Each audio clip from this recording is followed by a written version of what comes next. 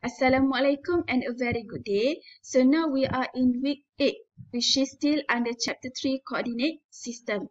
So for this week 8 can be divided into three subtopic. We have here the first one distance, equation of lines and also equation of plane. Go to the first topic which is distance. We have two theorems here. The first theorem is for distance in two-dimensional coordinate system. So the distance is denoted by the symbol d. Let's say you have two points in two-dimensional coordinate system which is given by px1, y1 and also the second one px2, y2 in two-dimensional coordinate system. You can compute this d by taking a square root of the second coordinate minus the first coordinate of x to the power of 2 plus the second coordinate of y minus the first coordinate of y to the power of 2. And then we go to how can we compute distance in three-dimensional coordinate system. We have learned before this, if we go to three-dimensional coordinate system means that you will have coordinate x, y and z.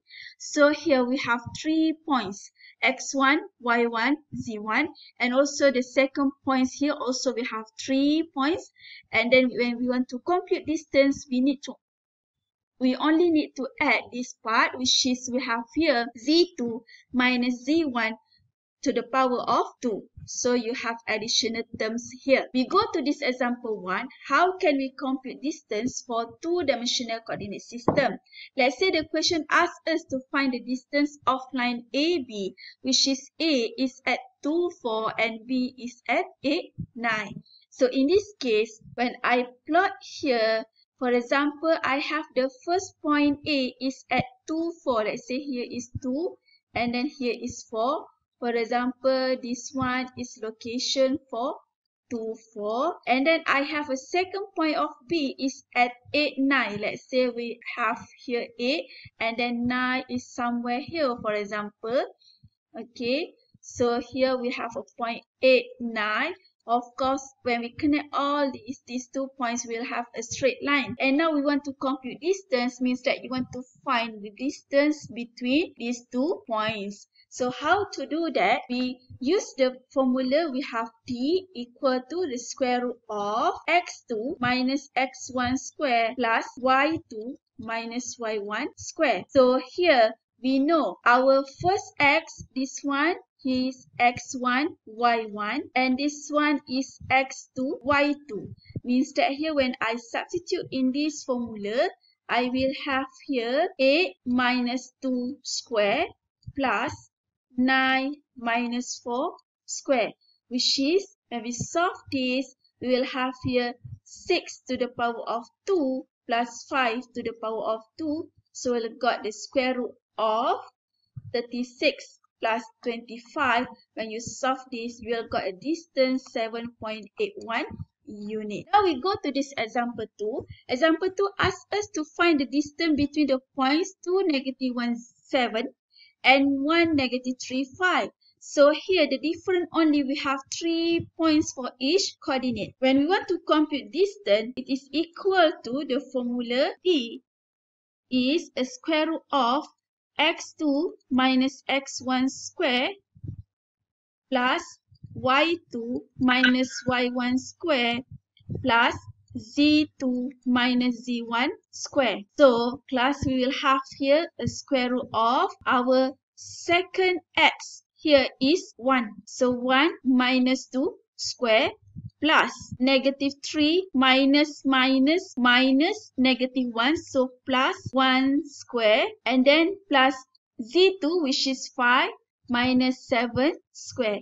Means that here we'll got a square root of negative 1 square plus negative 2 square plus 2 square. When we solve it, we'll have here 1 plus 4 plus 4. So equal to the square root of 9 which is equal to 3 unit. Next, we want to know about what kind of equation of line.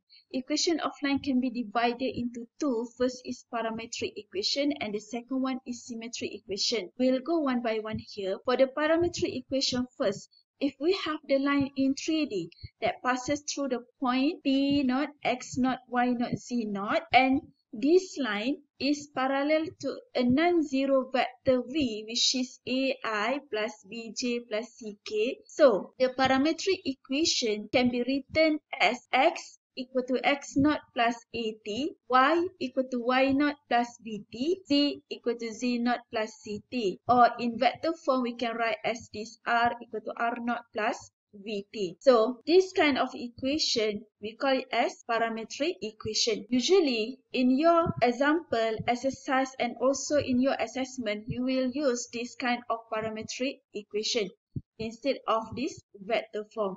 So please bear in mind the parametric equation is given by this kind of equation. If you refer to this figure, what does it mean here? If we have here this line, this is a line L that passes through a point P naught, X naught, Y naught, Z naught, means that this one is a point X naught, Y naught, and Z naught. And then this line is parallel to this vector V, okay, which is this V equal to AI plus BJ plus BK. So this line L is parallel to this vector V means that our equation of this line which is x, y, z, this is just point but it can be transformed into equation. So this x, how can we compute x? It will equal to x naught which is this point on L plus AT and this A comes from this vector form. And then y equal to y naught plus ct, z equal to z naught plus ct. And this b and c also comes from this vector form and this x naught, y naught and z naught comes from this point. So this one we call it as parametric equation which is equation of line in parametric form. Next we go to symmetric equation. Symmetric equation is another equation that can be used to describe a line. It can be obtained by solving each element for t and equate the result. What does it mean here? We have known before this, our equation in terms of parametric form is given by x equal to x naught plus at, y equal to y naught plus bt, and z equal to z naught plus so this parametric form we can transform into symmetric equation by written t as a subject. So if I write for the first equation t as a subject, I will have here t equal to x minus x naught divided by a. And for the second equation, we'll have t equal to y minus y naught divided by b. And the third one, t equal to z minus z naught over c. So this form, which is t as a subject, we call it as symmetric equation. Let's start to do this example one. The question asks us to find parametric equation and symmetric equation of the line L that passing through the point P 2, 4, negative 1 and parallel to the vector V 4i plus 5j minus 7k.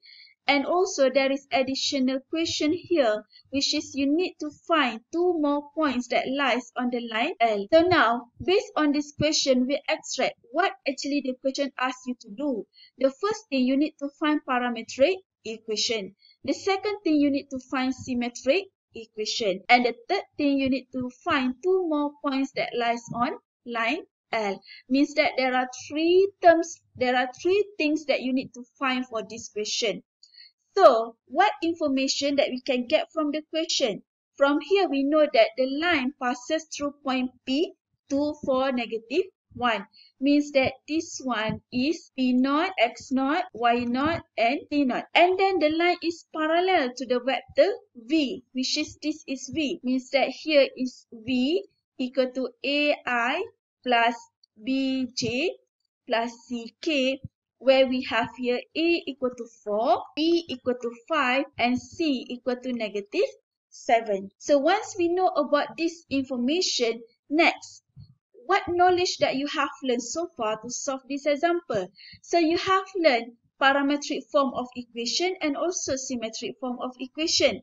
From here, you know that based on the knowledge previously, the line L in 3D that passes through the points P naught, X naught, Y naught, Z naught and is parallel to this vector V, we can write the parametric and symmetric equations in terms of this form. Means that if we refer back, we have here our P naught is 2, 4, negative 1. We have vector V which is equal to 4i plus 5j minus 7k. So in this case, when we want to find our symmetric equation, we can write it as x equal to x naught plus 80. Our x naught is given by 2. Means that 2 plus, which is our a, is given by 4. So 2 plus 4t. y equal to y naught, which is 4. This is y naught and this is our b. So 4 plus, which is b here 5t. And z equal to z naught, which is negative 1 minus 7t. This is your z naught and this is your c. And this one is a parametric form of equation. And then when we write in terms of symmetric form, you can transform this one into symmetric form by written our t as a subject. Means that we have here for the first equation, t x minus 2 divided by 4. For the second equation, t equal to y minus 4 divided by 5. And for the third equation, we have here t equal to plus 1 divided by negative 7. And then we have another question that the question asks us to find another two points on this L. Means that we have to set, for example, t equal to any kind of value. Let's say I set here t equal to 1. So I will have here x equal to 2 plus 4 times 1 which is equal to 6.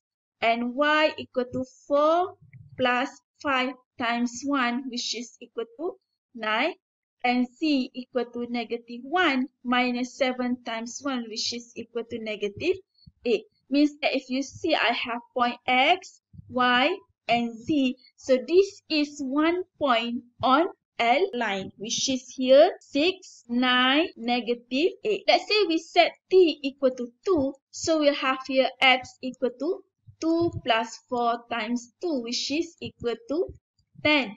And then we have y equal to 4 plus 5 times 2 which is equal to 14 and z equal to negative 1 minus 7 times 2 which is equal to negative 15. So we have here another point on L which is 10, 14 and negative 15.